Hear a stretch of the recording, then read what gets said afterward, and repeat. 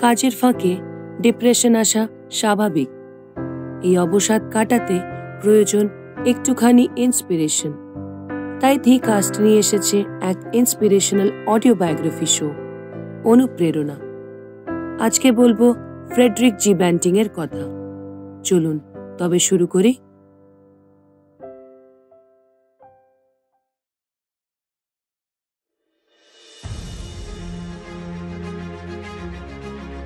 সংখ্যা বলছে দু হাজার উনিশ সালে সারা দুনিয়া জুড়ে প্রায় চারশো তেষট্টি মিলিয়ন প্রাপ্তবয়স্ক মানুষ ডায়াবেটিসে আক্রান্ত ছিলেন। এবং আশঙ্কা করা যায় যে দু হাজার পঁয়তাল্লিশ সালে এই সংখ্যা এক লাফে গিয়ে দাঁড়াবে সাতশো মিলিয়নে। ফলে চিন্তায় বিশেষজ্ঞ মহল। এই ব্লাড সুগার একসময় মানব জাতির কাছে একরকম ত্রাসের মতো ছিল। কিন্তু মানুষ কোনো বাধা মানে না।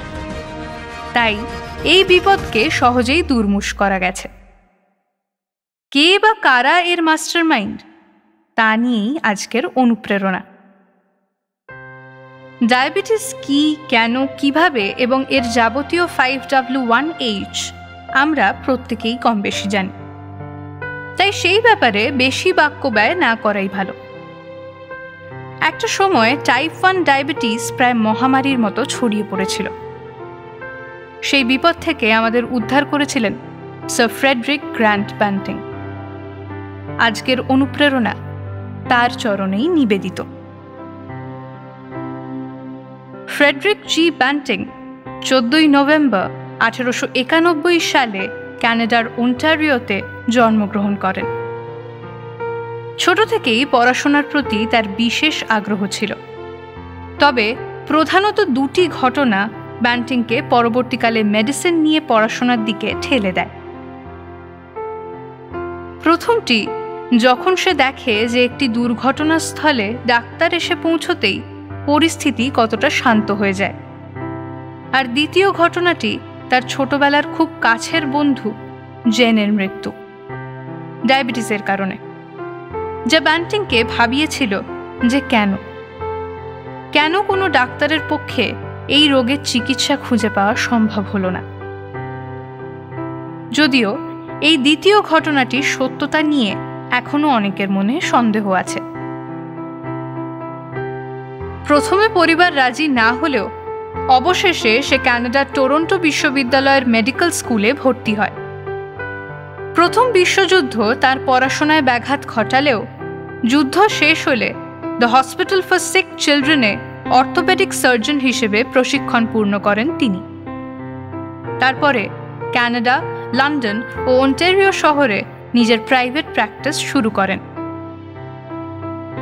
তবে অতি স্বল্প আয়ের দরুন তিনি এই প্রাইভেট প্র্যাকটিসের পাশাপাশি ওয়েস্টার্ন অন্টেরিও বিশ্ববিদ্যালয়ের অ্যানাটমি ও ফিজিওলজি বিভাগে পার্ট টাইম ডেমনস্ট্রেটর হিসেবে যোগদান করেন। তাতে কিছুটা আর্থিক সুরাহা হলেও ছাত্রদের পড়ানো যে কতখানি কঠিন কাজ, সেটা খুব শীঘ্রই বুঝতে পারলেন ব্যান্টিং। এরই মধ্যে একদিন ফ্রেডরিকের জীবনে এমন একটা মোড় এলো, যার জন্য হয়তো আজ আমরা এই পর্বটা করতে পারছি। অ্যানাটমি ও ফিজিওলজির বিভাগের প্রধান পদের দায়িত্বে ছিলেন অধ্যাপক ডাক্তার এফ আর মিলা যিনি উনতিরিশে অক্টোবর উনিশশো বিশ সালে ব্যান্টিংকে মানব দেহে কার্বোহাইড্রেট পরিপাক তথা ডায়াবেটিসের ওপর একটি লেকচার দেওয়ার দায়িত্ব দেন। পয়লা নভেম্বর ক্লাস মানে হাতে মাত্র আর দুটো দিন। প্রথমে ব্যান্টিং বেশ বিরক্তই হয়েছিলেন। কারণ এর আগে তার ডায়াবেটিস সম্পর্কে তেমন কোনো জ্ঞান বা আগ্রহ কোনোটাই ছিল না। তাই এই লেকচারের জন্য তাকে আলাদা করে ডায়াবেটিস নিয়ে পড়াশোনা করতে হয়। আর এই পড়াশোনাই তার লাইফের স্টেপিং স্টোন হয়ে ওঠে। অল্পদিনের মধ্যেই শুরু করে দিলেন ইনসুলিন নিয়ে গবেষণা। উনিশশো একুশের মে মাস থেকে তিনি বছর একুশের চার্লস বেস্টকে সঙ্গে নেন। একটি কুকুরের ওপর পরীক্ষা দিয়ে শুরু হয় তাদের গবেষণা।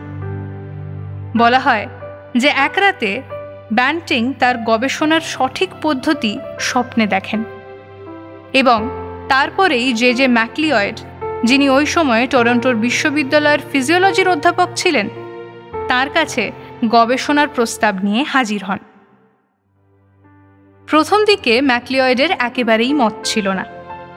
কারণ সে জানত যে এর আগে অনেক বিজ্ঞানী এই কাজ করার চেষ্টা করেও সফলতা পাননি। যদিও ব্যান্টিংয়ের অশেষ অনুরোধে ল্যাবরেটরি ব্যবহার করার অনুমতি দিলেন ম্যাকলিয়েড অবশেষে উনিশশো একুশ সালে ফ্রেডরিক জি ব্যান্টিংয়ের তত্ত্বাবধানে চার্লস বেস্ট ও জন ম্যাকলিয়েডের অক্লান্ত পরিশ্রমের ফলস্বরূপ টরন্টো বিশ্ববিদ্যালয়ে আবিষ্কৃত হয় ইনসুলিন। এরপর এগারোই জানুয়ারি উনিশশো বাইশ সালে ইনসুলিনের প্রথম হিউম্যান ট্রায়াল হয়। চোদ্দ বছরের লিওনার্ড থমসনের ওপর প্রথম ইনসুলিন ইনজেকশন প্রয়োগ করা হয়।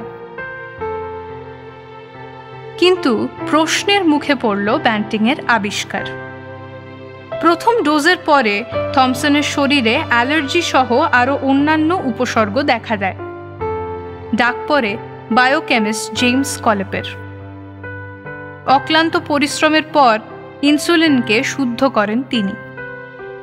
অবশেষে বাইশে জানুয়ারি থমসনকে তার দ্বিতীয় ডোজ দেওয়া হয়। সফল হল ইনসুলিনের হিউম্যান ট্রায়াল।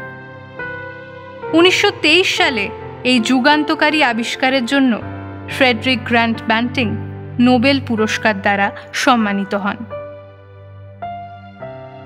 আমরা আজকে এমন এক সংকটের সময় ইনসুলিন আবিষ্কারের একশোতম বর্ষে পা দিয়েছি। যখন আমরা আবারও বুঝতে পারছি মেডিকেল সায়েন্স ও মেডিসিনের গুরুত্ব। কিন্তু তার থেকেও বড় কথা হলো, সব মানুষের এই অগ্রগতির ওপর অধিকার থাকা। তবে আজ ডায়াবেটিস দ্বারা আক্রান্তের সংখ্যা, বিশেষ করে পিছিয়ে পড়া দেশগুলোতে বেড়েই চলেছে। টাইপ ওয়ান ডায়াবেটিসের জন্য বিশেষ করে ইনসুলিন এখনও একটি গুরুত্বপূর্ণ ওষুধ। এই মুহূর্তে দাঁড়িয়ে সব দেশগুলির নজর দেওয়া উচিত যাতে সব স্তরের মানুষ এই ওষুধ পায়। এবং ডায়াবেটিসের আরও কার্যকরী চিকিৎসা পদ্ধতি যাতে খুঁজে পাওয়া যায়।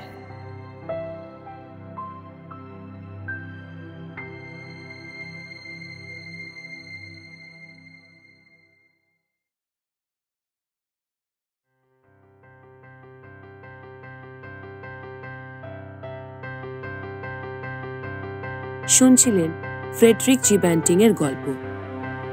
গল্পের মূল ভাবনায় দেবর্ষী সামন্ত গল্প পাঠে অরিত্রা মুখার্জি।